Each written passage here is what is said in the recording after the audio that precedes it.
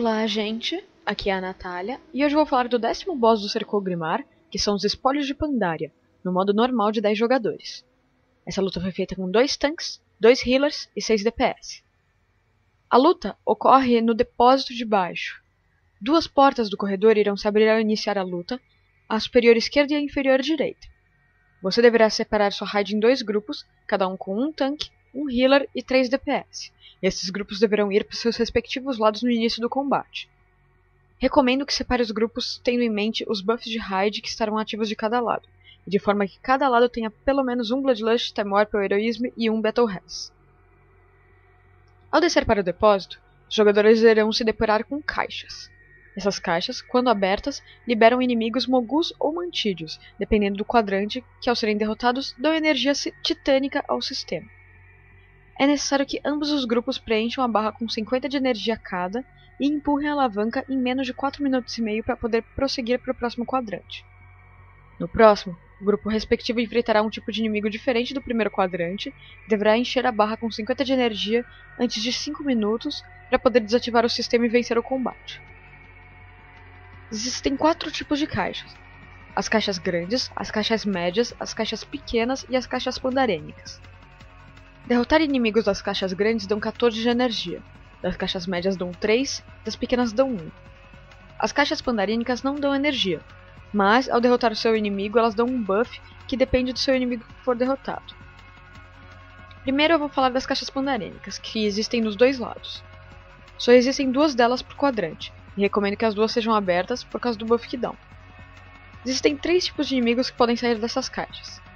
Primeiro é o espírito do mestre cervejeiro, que é um tanque. Ele usará o arremesso de barril em um alvo distante, causa uma quantidade moderada de dano e slow. Sua outra habilidade é o bafo de onça, causa dano e desorienta o alvo se ele estiver afetado por arremesso de barril. Quando ele é derrotado, ele deixa para trás uma orbe que, quando clicada, concede um buff ao tanque do quadrante chamado Lâmina dos 100 Passos. Todos os ataques do jogador terão a chance de evocar um relâmpago que causa dano e stun inimigos próximos com 15 segundos de cooldown. O segundo tipo de inimigo é o Espírito do Tecelão de Névoa, que é um healer.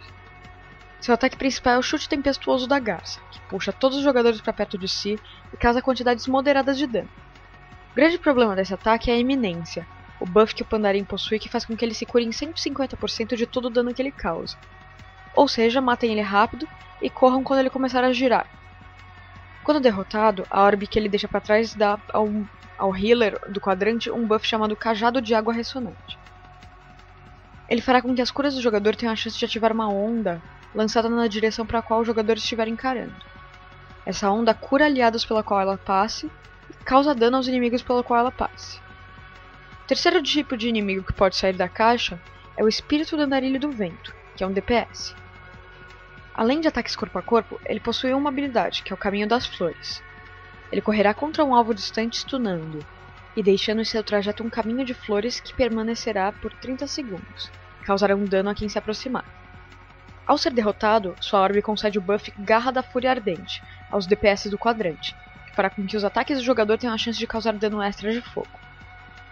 Bom, vamos falar então um pouco do quadrante dos Mogu, começando pelas caixas grandes. Existem duas delas por quadrante. No quadrante Mogu, irão emergir da caixa grande um ancião Shao Chen.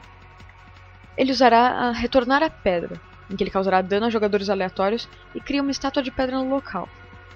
Essas estátuas vão constantemente bater no chão à sua frente, causando dano e stunando os jogadores atingidos. Para cada estátua viva, o dano que o ancião causa é aumentado em 10%. Elas possuem pouca vida e não deverão ser uma preocupação. Independente do ancião sair da caixa, ele possuirá um ataque que causa 105k de dano em todos na raid. Se for Jun Wei, será Salva Sombria, que causa dano de sombra. Se for Zulin, será Punho Derretido, que causa dano de fogo.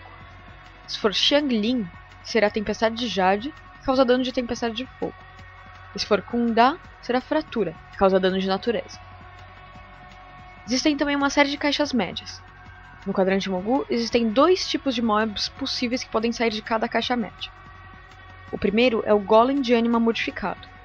Ele usa a mistura de matéria, em que ele iluminará dois pontos no chão. Após alguns segundos, ele trocará de lugar os jogadores que estiverem em cima dos pontos. Porém, Se não houver nenhum jogador em cima de algum dos pontos, ele causará 300k de dano em todos na raid, inclusive nas pessoas do outro lado da sala. Portanto, quando as luzes surgirem, pelo menos uma pessoa deve subir em uma delas.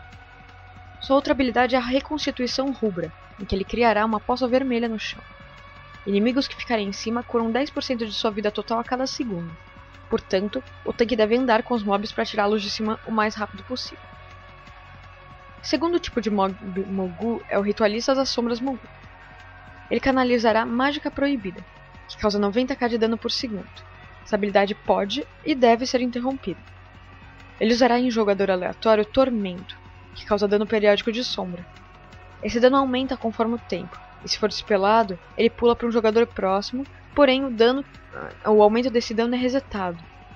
Quando o ritualista morre, tormento é removido. Dispele se o dano começar a ficar muito alto no jogador. Ele colocará no chão a runa de poder Mugu. Quem permanecer em cima ganhará um aumento na aceleração de 100%. Portanto, assim como os golems de anima, tire-o de cima rapidamente. Os jogadores podem subir na runa para ganhar o buff.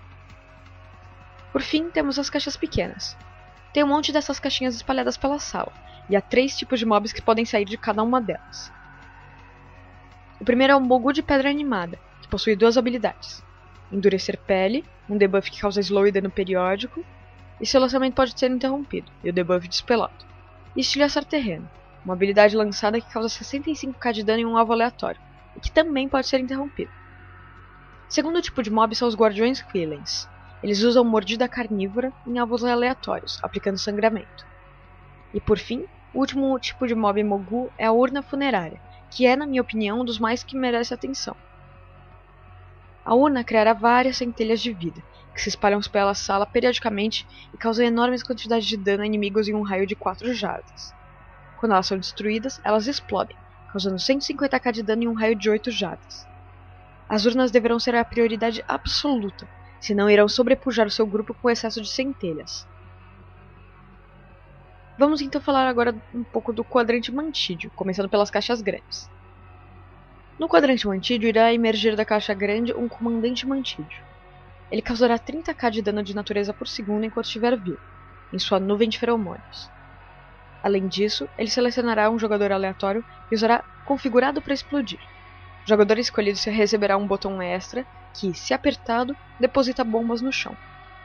Normalmente são colocadas de 3 a 5 bombas no jogador.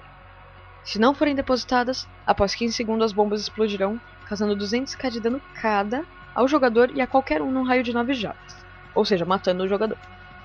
Quando o botão extra é usado, o jogador coloca a bomba no seu pé e após 30 segundos elas detonam, causando 200k de dano num raio de 9 jardas.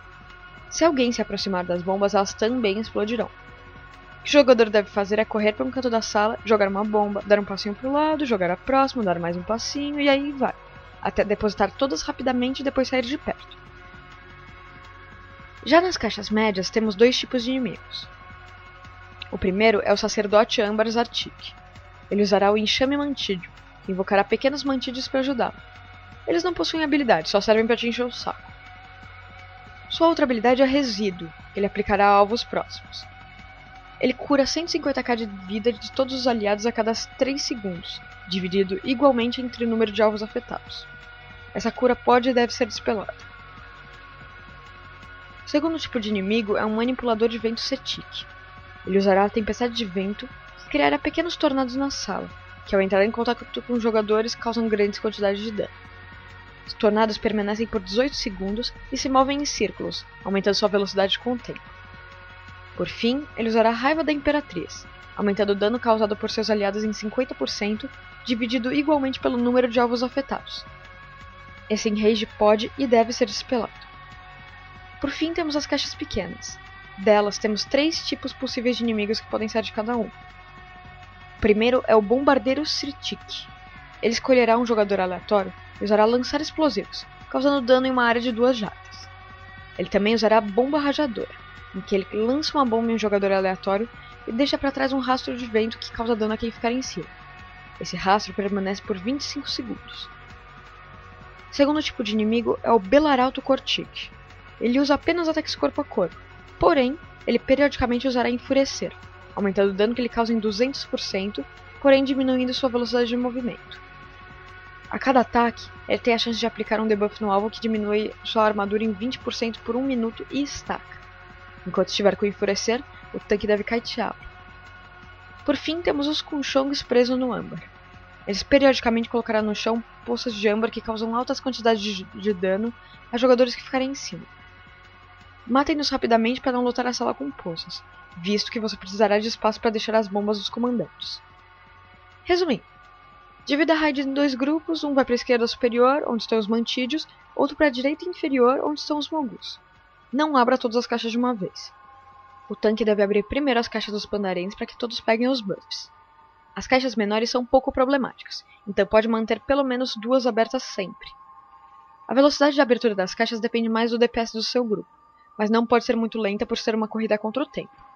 Procure não ter duas caixas grandes abertas ao mesmo tempo. No quadrante mantídeo, tomem cuidado principalmente com as bombas, com o rastro de vento e com os tornados. Dispelem a cura e os buffs dos mobs, e o tanque deve ter cuidado kiteando o mob com enfurecer. Matem os colchões rapidamente para não lotar a sala com poças. Eu pessoalmente acho o quadrante mantídeo mais difícil que o outro. No quadrante Mogu, sempre mantenha uma pessoa responsável por subir em cima da luz da mistura de matéria. Tem que deve tirar os mobs de cima das runas e ou poças. E os DPS devem matar as urnas o mais rápido possível, sendo elas a prioridade máxima. Matem as estátuas dos anciãos Mugu e não fiquem na frente do golpe delas. Independente de onde você começar, quando juntar 50 de energia, empurre a alavanca, espere até o outro grupo empurrar a deles e passe para o próximo quadrante. Se seu quadrante inicial tiver sido Mogu, esse agora será Mantídio e vice-versa. Empurre a alavanca ao chegar em 50 de energia. Quando os dois grupos tiverem empurrado, vocês vencem o combate. Bem, é isso aí. Se você gostou do vídeo, deixe seu joinha e inscreva-se no canal. Para qualquer dúvida, deixe nos comentários. Obrigada por assistirem, boa kill e bom loot a todos.